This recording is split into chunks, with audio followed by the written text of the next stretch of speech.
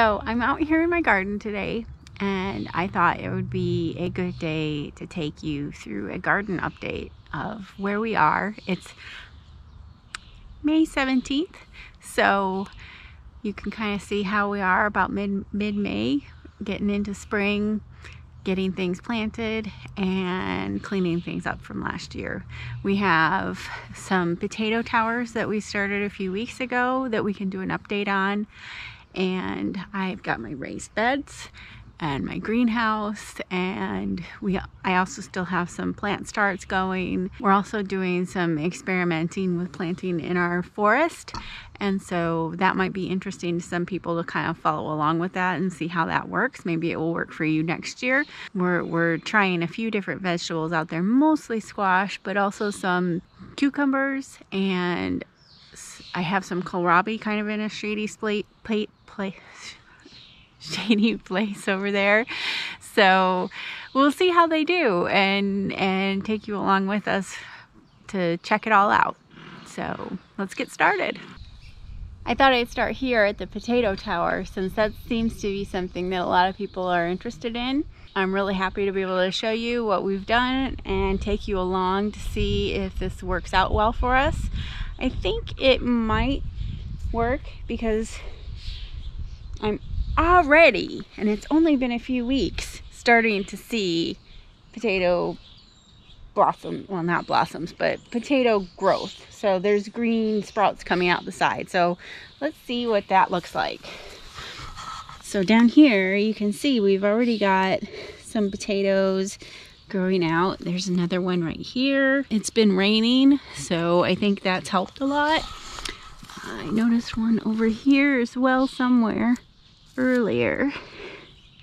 But anyway, I'm I'm thinking that this so far is looking pretty good. One thing I do think that I might do, there's another one right there, is come back in and put a little bit more soil around the edges in places. You can see something coming out here and also right there. But I think I'm gonna come in and put a little bit more soil, pack it in as, as the season goes on because I'm noticing that it kind of runs out a little bit and also it's sinking. So once I get some sprouts up here on top, then I'm gonna add more straw just to keep the light off of things and also give it a little bit more to kind of process down there because if you've seen our other video you'll notice that it it's, it has sunk quite a substantial amount. I think I got it up to about here and it's already sunk that far. So I want to make sure it, it has enough to go on in here. But this is exciting. I'm, I'm very pleased so far. This is my greenhouse. This is the first year we're really starting to grow in this greenhouse. It's kind of been, to be honest, quite a waste for the first year. Um, and it was really difficult for us to set up. We struggled with it. The doors still don't really close. We've had problems with getting it sealed for temperature enough. But this year I decided, you know, I'm just going to grow some summer stuff in here. Some things that like it really hot. And so far that's working pretty well. We'll see if we have problems with fruiting or with anything like that or if it just gets too hot in here. But we are in the Pacific Northwest here. I'm in zone 8B, I think. 8A, 8B, 8B, I think. I'll, I'll have Brian put a little thing that says 8B or whatever it is. it's pretty temperate and we have not too cold of a winter and not too hot of a summer. So I think this will work, but we're learning and experimenting here because what I found with gardening is that nothing works the same for anybody because everybody's property is a little different, even if they are in the same place. I, I have friends who garden in their yard and things that grow for them don't grow for me and don't do well, even if I do exactly like they do. Things are always different and you just have to find what works for you. So let, let's talk about what I've got going on in here. One thing I have is this avocado tree, which is over here in the corner. And so this tree is something that originally I had outside and it would really die back hard in the wintertime and then would slowly come back in the summer. And so this year I put it in the greenhouse just to kind of see how it would do and we watered it through the winter and it was the lone plant in here and it gets weeds. Now it seems to be doing so much better because I've never had green leaves on it this time of year and things like that. So I'm really excited to see if I actually get an avocado out of this thing. Even one avocado would just make me thrilled. Tiny avocado, fine. I don't care, just an avocado. So I've got that in here. And then I have a whole bunch of just potted up peppers, sweet and hot. So, so those have just been sitting in here kind of being out of the elements a little bit. It's still been a little cold sometimes, especially in the evenings and we have some heavy rain showers. I do have some peppers out there, but I'm really curious to see how late I should plant them. So I'm keeping some back and putting some in and kind of playing with that. So we'll see. And I also need some more space to put these things in. Other things that I have going back in here. So I have some more pepper plants that these will stay in the greenhouse, these pots on the side. I'm trying to maximize the space a bit. So I, I'm looking at ways I can do that. And then all along the sides, I have tomatoes that I started indoors in my little greenhouse area inside with heat mats. I'll show you that later. Probably around early March, late February even. And so these have been growing for a good long time and I put them in maybe a month ago out here. And I've already got bloom setting and thing, things are looking really good for, for these. So I'm hopeful that that I will actually get some tomatoes early on this time because last year my tomatoes didn't set until the very end of summer right around mid-August I want to say. And so I didn't get as many tomatoes as I would like to get. So I'm hopeful that this year that will be different. I've also got in the very back of the greenhouse, I've got some eggplants and my eggplants are already starting to set. Yay, so let's look at those. Okay, so now we're at the back of the greenhouse and I'm crowded in here behind all the stuff because there's so much stuff in this greenhouse right now. I've been setting up these lights. So, um, it's kind of taking taking the greenhouse over right now. This all this junk is in here, so um, bear with me. But I wanted to show you that I have these beautiful little blossoms already on my eggplant and I'm so excited. I love, love, love eggplant. It's so yummy. And I'm really excited to start getting eggplants that don't take me all season and then I get two fruits per plant because that's just discouraging because usually they're like this big too. So I'm really excited about having these guys in the greenhouse now and hopefully they'll do really well for us. Also, this is a Narangilla, I think it's called. Got the tag here. It's Narangilla orange and it's a fruiting plant. It's very spiky. See, can you see the spikes on there? and I didn't realize that until it bit me. So um, I'm curious to see what this has done. Have you guys grown this plant before? Let me know because I'm, I'm really curious about it. So, so that's my greenhouse and what's going on in it. We've got a little couple little flowers and things that I'm planting in here just to see if I can't get pollinators to come in here. We do have windows up there and they don't really seal very well. so, so maybe that will help bring some pollinators in. I do get a lot of box elder bugs that come in here and just drive me bananas, but maybe they're helping to pollinate and I should just leave them alone. I don't know. Yeah, so that's what's going on in our greenhouse. This is just a quick overview of the whole garden so you can kind of see it. So back over here are our compost bins and then there's this open space here that I'll talk about in a minute.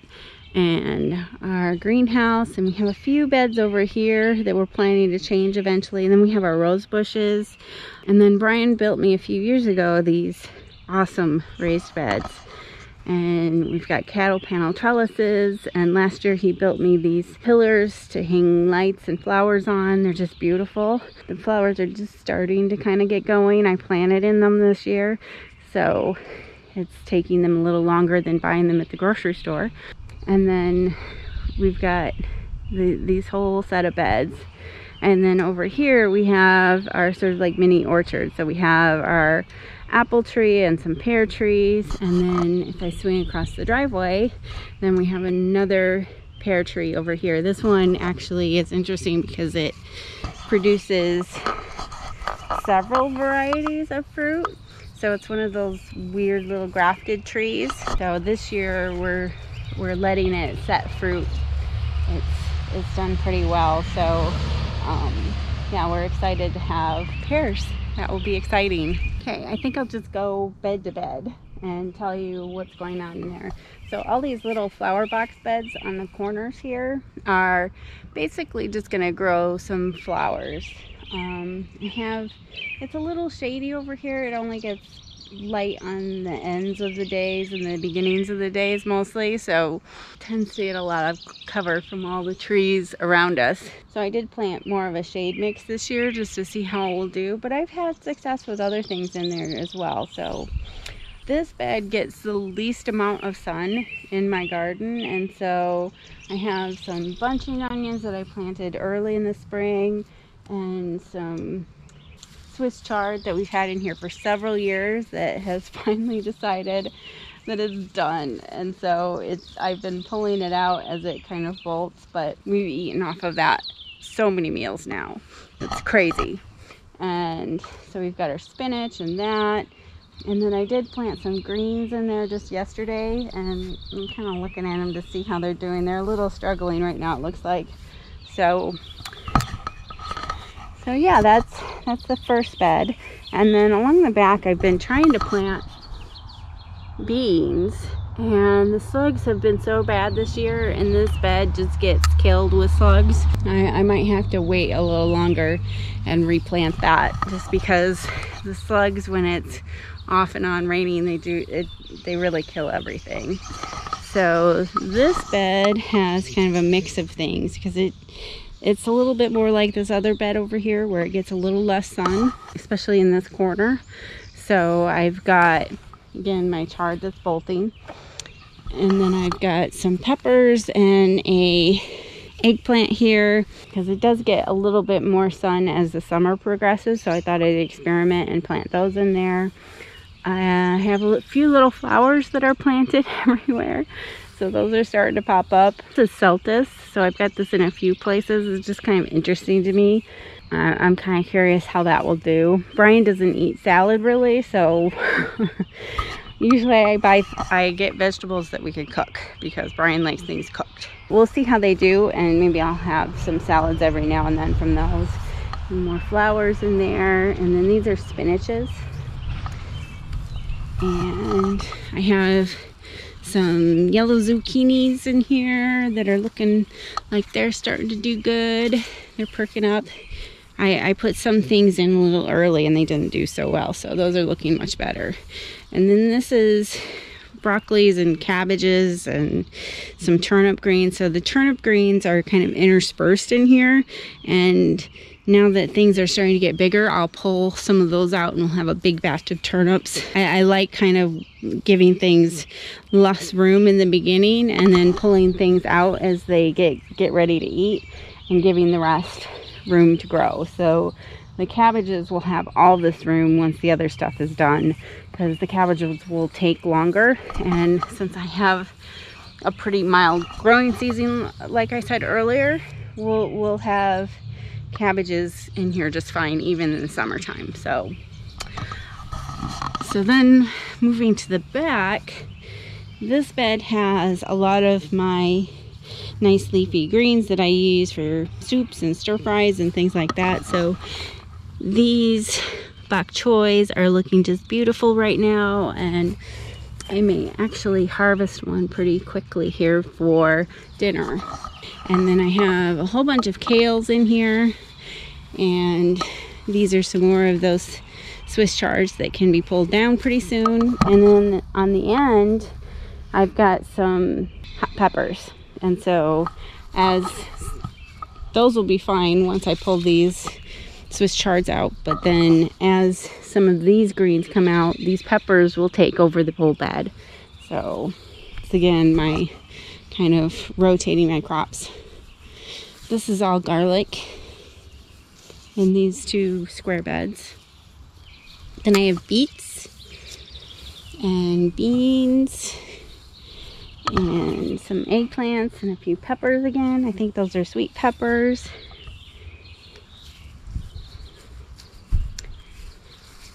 Middle beds have garlic.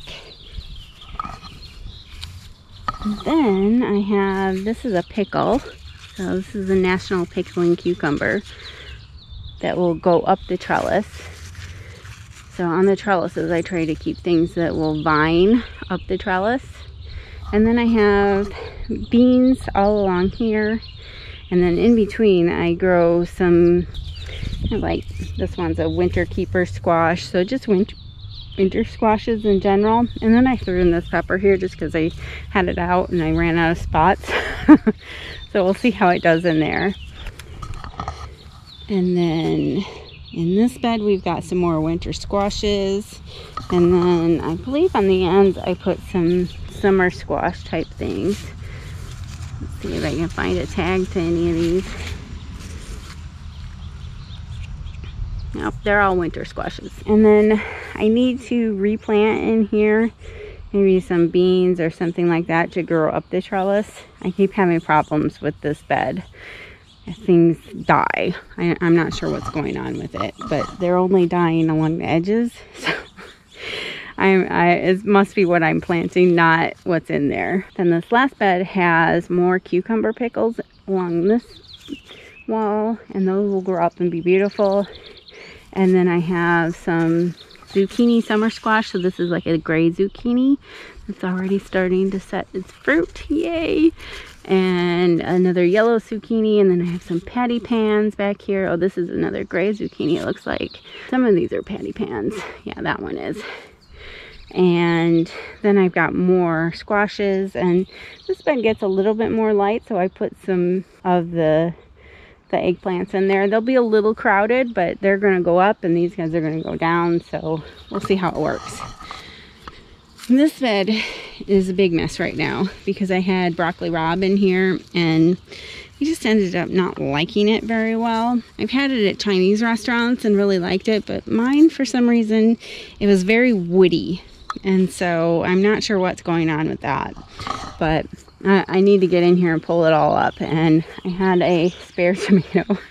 And so I just threw it in there because it was setting fruit and starting to die. So I threw it in there knowing I was going to plant some more things like that in there because I'm going to put probably leftover peppers and, and tomatoes in this bed once it's got all the green stuff out of it. I have some more turnips and rutabagas and things like that that can come out really soon. So this bed is due for a big transformation soon. You can see I've already got two peppers in there. This is a cauliflower or broccoli, I think. So that's going to be beautiful. And yeah, so this bed has already been really productive for us. We've been eating off of it for about a month. And now things are starting to go to seed. You can see this is bok choy. It's gone to seed. Some of these I had pulled leaves off of it as it started to go and kind of threw those in with some that looked better. So nothing goes to waste. All that excess will go to chickens, to goats, to bunnies, um, as I pull things out. And then anything that can't go to them, it goes over there to the compost bins. So this is our cabbage and kohlrabi bed right now.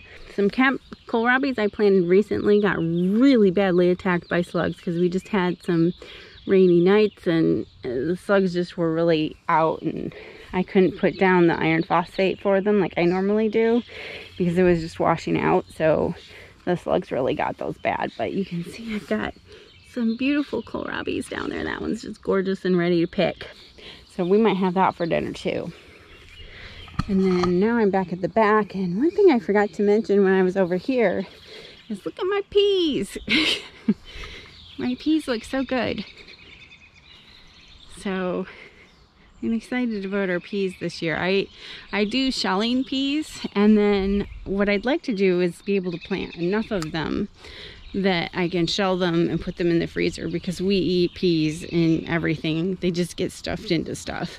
A lot of times when I make pastas or anything with a cream sauce, it's got to have peas in it. Macaroni and cheese, we'll throw peas in it, lots of things. So back to this bed, I've got some tomatillas in here. I only planted a couple because tomatillos will just take over. So I've got one, two, three, four in here, and that will be plenty. I planted a whole bed of them once, and it was just ridiculous. we had tomatillos for forever. And then we've got some more peppers. These are paprika peppers and hot peppers, like cayennes and things like that. And then I have another squash in here. This is a butternut squash, so I figure it'll just kind of snake around wherever it wants. And this is a roselle that's in there. I had some extras and they are really suffering due to my mistreatment of them. they are not looking so hot, so I might have to try replanting. I, I'm not sure how well I'm going to do with those anyways, though, because it's, it's not ideal conditions for them here, I think. So we'll see. Okay, so this is the back garden. And then I have my, we call it the long bed back here. Those are my blueberries. We have one big bush that's been here since we bought the property. And then last year we got another one and planted that, that this spring. It's looking pretty good. And so this is junk right now. This, this whole bed is really junky. Um, we've been pulling weeds out of it and feeding it to chickens and just kind of slowly getting rid of things. I have some arugula that I'm just letting go to seed and then just other things that didn't do well when I planted it last year. I planted it in the fall and it did terrible. It just doesn't get enough light back here in the winter time. What I am going to do is plant some what am I going to plant? I'm, I'm going to plant some asparagus back in this bed and hopefully have the whole bed be asparagus because I think that would be really nice. And then coming along back to this side of the property, this area behind the blueberries and next to the greenhouse is kind of just a junk area right now. But we what we want to do next year is create a big strawberry area and have a nice strawberry patch in here.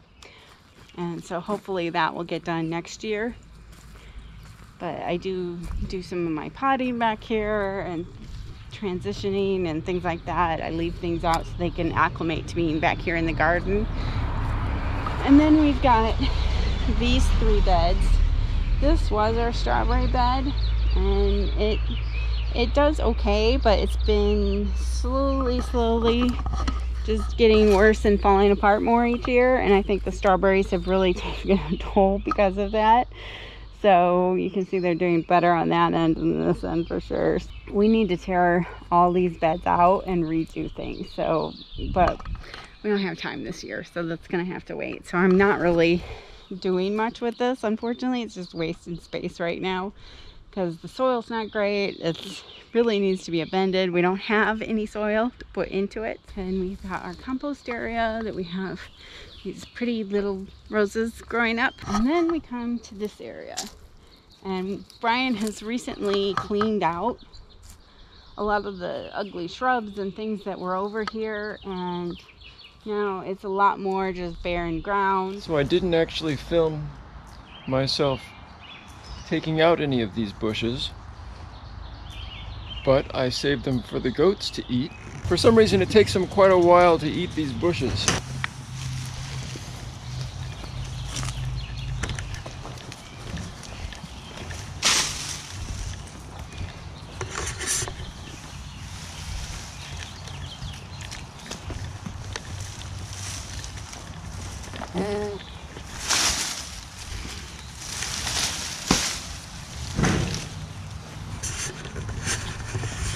Sometimes just sometimes just moving them around a little makes them makes them think it's new treat, I think.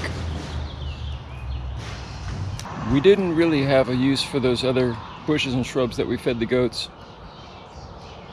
Just no place around the yard that we wanted to put them. But I really like this tree. I call it my Dr. Seuss tree because of the twisty shape. So I very carefully dug out as many of the roots as I could and put it over here closer to the road. I think it'll be nice here. I have this beautiful magnolia tree in it in here. I still want to trim back a little bit. Just there's a little bit more light down here. But what I'm going to be doing is putting in more of an in-ground vegetable garden in this space. And so I'm hoping this works and then we can keep reusing it. Otherwise, we'll build more raised beds. So, so that's the plan for this area. And then I have some artichokes over here that are doing pretty well. They're kind of getting crowded by the roses a little bit, but that happens every year. We'll prune those back in a while. And then these are okras that are frankly frankly kind of struggling I didn't really amend their soil very much and they're they're they're looking a little sad. It's been a little cold for them too, so that's that's just how it goes. So I thought I'd show you what we have been doing for potatoes. Right now we've been using these potato grow bags and they do work pretty well. You can see we've got a lot of growth on them. These were planted mm, around February, maybe March. So they're doing really well. We just don't have a lot of potatoes that come out of these bags. And they do take up a lot of space. So for a couple pounds of potatoes, it's a lot of space. But they do look pretty good. So they're nice and healthy in here for the most part. I, I do need to come in and put straw on them and some things. So but they do pretty good. And then this is where I start my seeds. So let's go in there and look at that. Okay, so this is my crazy seed starting area. What what I have is this when we bought this house from from Brian's uncle, it already had this kind of like window greenhouse is what we've been calling it. And it didn't have lights in it and it didn't have grow mats. So these heated mats. So those things I added. But otherwise, the shelves were here, everything was here. So this has been really, really nice. That I just put put a not very much money into doing this. And then I just start my seeds in these little peat pellet pots. And, and if I've got things that I want to grow up, these are some artichokes then I pot them up. But otherwise, I really like using these things. They're pretty easy. The only thing that I've learned that kind of helps a lot with them is that I pull these mesh bags off of them. So if you've ever used them and had bad luck with them drying out or something like that, it's probably because of these little mesh bags. The roots just have trouble getting out of it and it doesn't work very well. So, but it starts them really well. So I, I, like those for starting. They're just really easy. They're not the cheapest thing, but they're really easy. So it's a lot more about being foolproof sometimes with me than anything. And then when we started to expand, I added this rack. So this rack helps kind of keep me from from going crazy because when I was having things in here, I could only fit these small things and I could never pot up until I had to go outside. So I was always frustrated.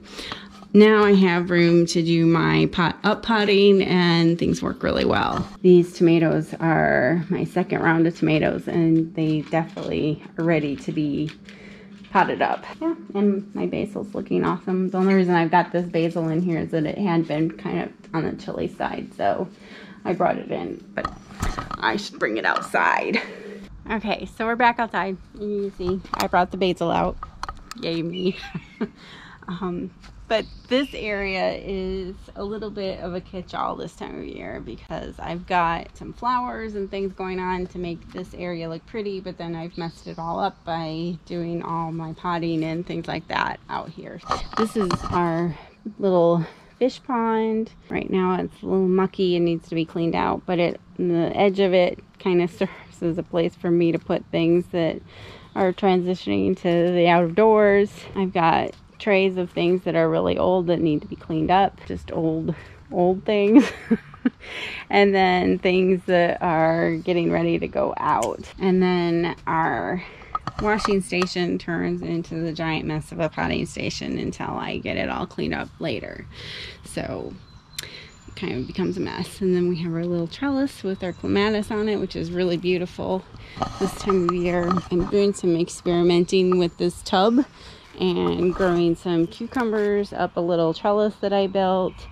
And then on the inside is just another squash thing. It's probably going to die because it's going to get shaded out, but I thought it would be fun. And then I've got some peppers in here, some mint, and Brian has a whole bunch of rocks right here that that needs work on. And then yesterday I was weeding all this out and this needs to go to chickens. We have some kind of parsley that's been ranging out of its location out here. I've never heard of parsley doing this but it's crazy right here. But our parsley is growing all over out here. And so I've been pulling some of that and this is the area where I've got I've got a few peppers in here. I, I know it's dark and they're not gonna grow but I thought it would be fun. I like the foliage on this one. But then a lot of what I'm putting in here are little new kohlrabi starts. And so I've got some of those in there. And then we've got our flowers and things like that. But now we're getting into my experimental areas. So we have, if you've seen on the videos, the intros, a lot of the times Brian will come back here to shoot those intros.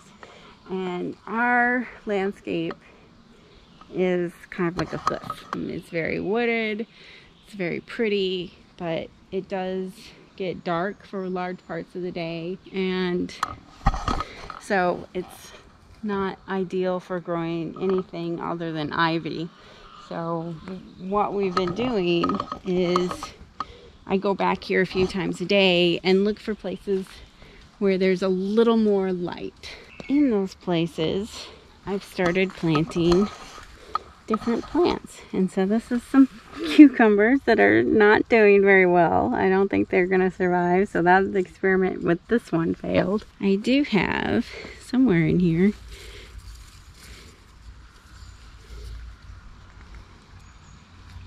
maybe it's a couple steps down.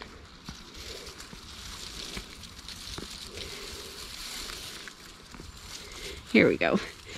I've planted these squashes there's two of them. There's one right here. And I'm hoping to see if the squashes will thrive down here because they just seem similar to some of the things that grow down here. So I, I'm seeing how it works. We'll see. They may never flower. There's another squash. It's doing pretty okay. But as we get over to the other side, they get they start to get a little bit more light. So you can see this one's a lot bigger. And it's actually got some flowers on it. And then up there where I've got those two trellises, I have some cucumbers that are doing great. They're they're just at the same level as the other ones. So I'm really excited about that. I'm trying not to fall here. I have a hard time getting down here. Brian is a mountain goat and can climb down here. There's another squash. And I'm thinking of coming down to this little bit sunny area here and doing some things as well. But I have a lot of things that are growing up by the hedge there and those are all doing really well. So as long as we can keep this ivy back, then we should be able to grow some things up there, I think. And they get a lot of morning light, which is good. So, so that's kind of what we're looking for down here is to get things with morning light. Right now, it's late afternoon, sun's gone out, gone the other way. It's not so much light. It's nice and cool down here though. Um, the other thing we're doing down here is we have some fruit type things that we're trying to grow down here. So if you look right here, that is a fig. So it's a turkey fig. And I have another one up top.